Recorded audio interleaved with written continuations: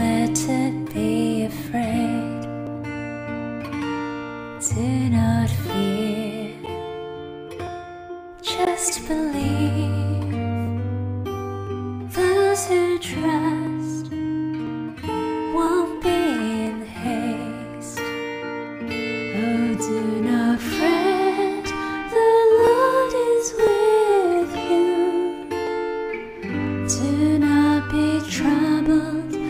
By stress or anything.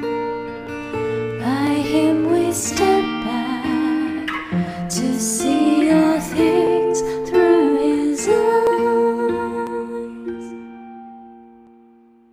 Look to Him and smile, rest assured,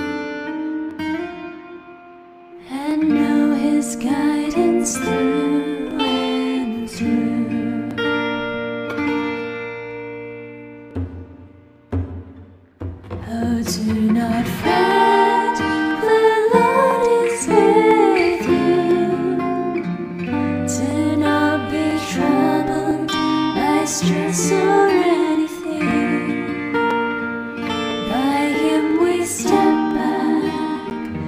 to see all things through his eyes.